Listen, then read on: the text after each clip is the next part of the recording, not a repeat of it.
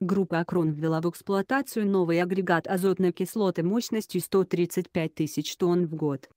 Новые заводы и цеха группы Акрон ввела в эксплуатацию новый агрегат азотной кислоты мощностью 135 тысяч тонн в год.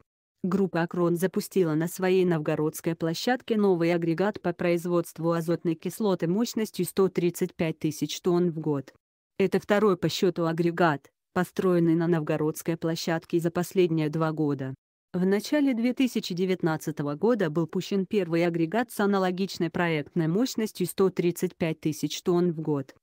Строительство двух новых агрегатов – важная часть инвестиционной программы группы «Акрон», принятой в 2017 году и основанной на максимизации уже созданного производственного потенциала. С вводом в эксплуатацию обоих агрегатов суммарная мощность производства азотной кислоты увеличилась на 270 тысяч тонн до 1,8 миллиона тонн в год. Генеральным проектировщиком проекта строительства агрегатов выступила ООО «Новгородский ГЕАП», входят в группу «Акрон».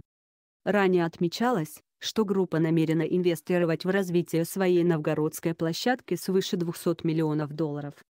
ПАО «Акрон», Великий Новгород, является ключевым производственным предприятием группы «Акрон». Помимо него под управлением группы находится ОАО «Дорогобуш», Смоленская область и ряд других активов. Подпишитесь на наш канал в Яндекс.Дзен и сделайте вашу ленту объективнее.